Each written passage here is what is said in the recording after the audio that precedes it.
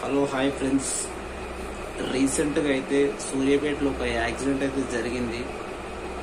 ఎందుకు ఈ విషయం మీతో షేర్ చేసుకోవాలని అనుకుంటున్నా అంటే చాలా ఘోరంగా అసలు కంటైనర్ కిందకి కారు దూసుకెళ్ళింది.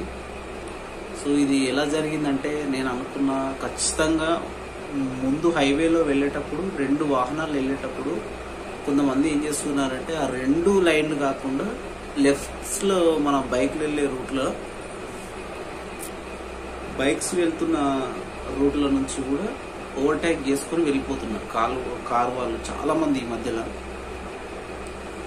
మనము ఆ టైంలో అత్యవసరం అనుకుంటేనే ఓవర్టేక్ చేయాలి. ఎప్పుడు? రెండు లైన్లు కాకుండా లెఫ్ట్ సైడ్లో బైక్స్ వెళ్తున్న రూట్ చిన్న లైన్ ఉంటుంది ఆ లైన్లో అయితే వీళ్ళు ఏం చేశారంటే ముందు రెండు లారీలు వెళ్తున్నప్పుడు పక్కన లెఫ్ట్ సడన్గా తీసుకున్నాడు అతను. కొంచెము డిస్టెన్స్లో చూసుకొని కొంచెం డిస్టెన్స్లో లెఫ్ట్ సైడ్లో నుంచి తీసుకుని ఉంటే ఇది బాగుండేది అయితే ఈ యాక్సిడెంట్ మాత్రం చాలా ఘోరంగా అంటే ఘోరంగా జరిగిపోయింది. ఫస్ట్ ఆఫ్ ఆల్ ఏంటంటే అతను నాకు తెలిసి లెఫ్ట్ సైడ్లో వెళ్తున్నాడు కదా ఆ లైన్లో అసలు అతను చూసుకోలేదు మెయిన్ సడన్గా తిప్పేశాడు.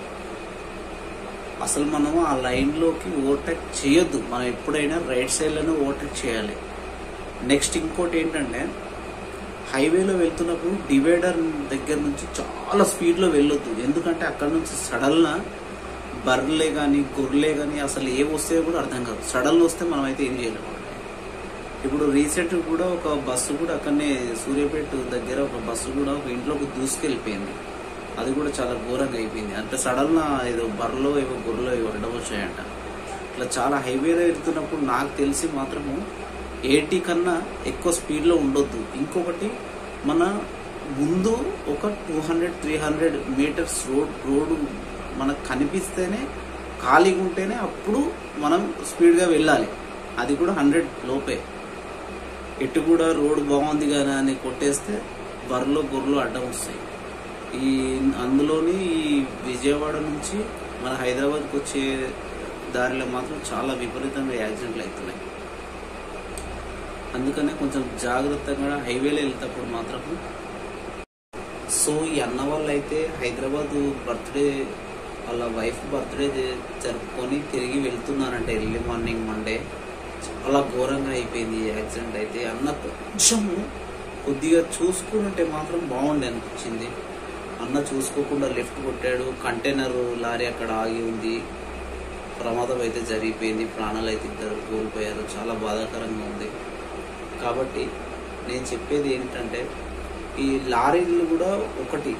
లారీ డ్రైవర్స్ ఎప్పుడప్పుడు కూడా మన హైవేలో మాత్రం ఆపకండి. ఆపితే దానికి ఒక సింబల్ పెట్టండి.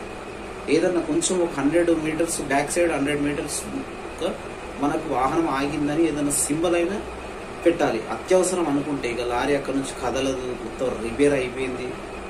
అక్కడి నుంచి కదలదు. ఇప్పుడు చేయలేము తీయలేము అనుకున్నప్పుడు చాలా జాగ్రత్తగా హండ్రెడ్ మీటర్స్లో సింబల్ ఏదైనా పెట్టండి. అలాగైనా చేయండి. లేకపోతే అవసరం లేదనుకుంటే లారీలు మాత్రం అస్సలు ఆపకండి అక్కడ. చాలా ఇలా ఘోర రోడ్డు ప్రమాదాలు అయితే జరుగుతాయి.